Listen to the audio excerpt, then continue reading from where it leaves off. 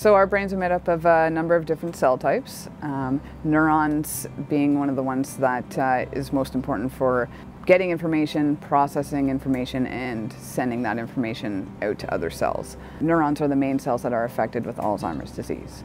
So if we were to look at a neuron from a patient that has Alzheimer's disease, uh, we would see two hallmarks. One of them is tau tangles, and the second one is beta amyloid peptide accumulation.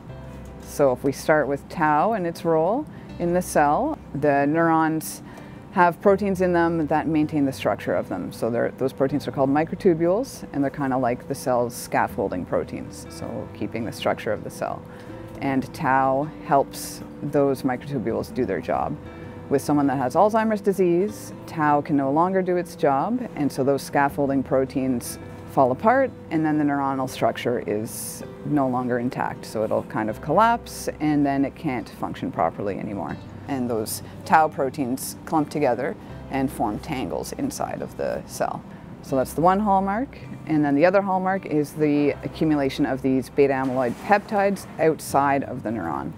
And so those peptides come from a larger protein called amyloid precursor protein.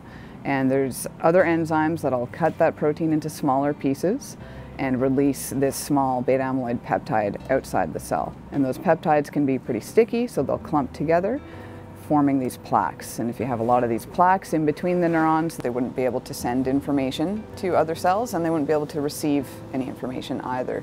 So that would affect, uh, depending on the region of the brain that's affected. And in Alzheimer's disease patients, the hippocampus is one of the areas that's affected, and that is a memory center. So in that case, you would be altering someone's memory function. We examine how diet and exercise can alter these changes in the brain and trying to figure out exactly what the steps are in between and what we can do to reverse or prevent or slow the progression of the disease.